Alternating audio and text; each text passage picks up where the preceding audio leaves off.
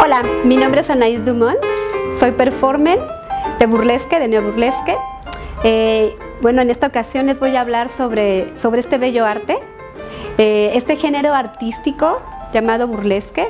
Pues es un género muy, muy antiguo que se ha practicado desde hace muchos años, desde antes del siglo pasado.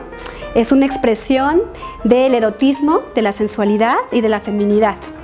El neoburlesque como tal es una variación del burlesque y del cabaret europeo que llegó a Estados Unidos el siglo pasado.